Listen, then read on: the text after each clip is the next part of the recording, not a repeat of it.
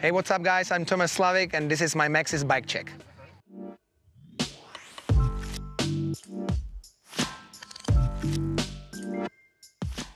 So for pump track, this time I'm riding uh, Maxxis DTH 2.3, rear and front tire, same pressure, uh, 80 psi. It's really a lot. It's uh, this pump track is a little bit different. It's kind of more like a straight rhythm, so the speed is more important than the grip, and that's why I decided for the fastest tires from Maxxis, and that's DTH.